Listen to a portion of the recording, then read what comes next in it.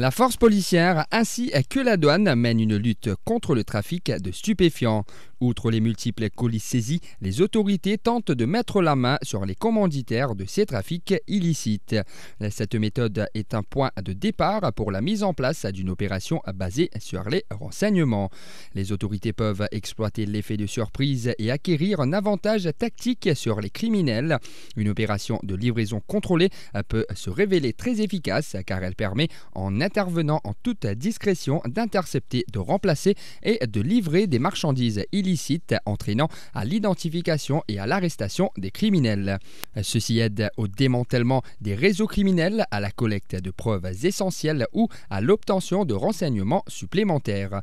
En 2024, deux opérations de livraison contrôlée ont été effectuées par la Special Striking Team menant à la saisie de 400 grammes de drogue synthétique et de 75 kilos de cannabis respectivement. La CP Gunraz Gungadin nous explique que la police est prête à tout, quitte à se déguiser lors des opérations pour mettre la main sur les commanditaires de trafic de stupéfiants. Control Delivery Exercise, préconisé par Nations Unies, United Nations et UNODC, c'est tout pays dans le monde servi même tactique, même principe pour contrôle delivery.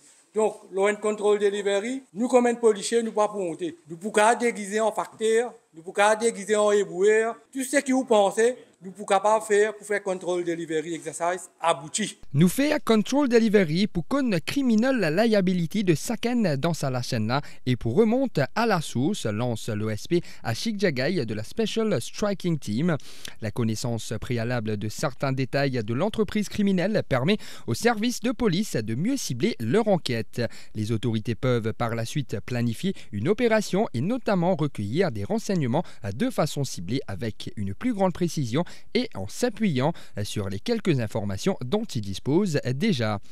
Toutefois, ces opérations peuvent très souvent dégénérer. En novembre 2020, une opération de livraison contrôlée avait coûté la vie à la policière Dimple Ragu affectée à là-dessous.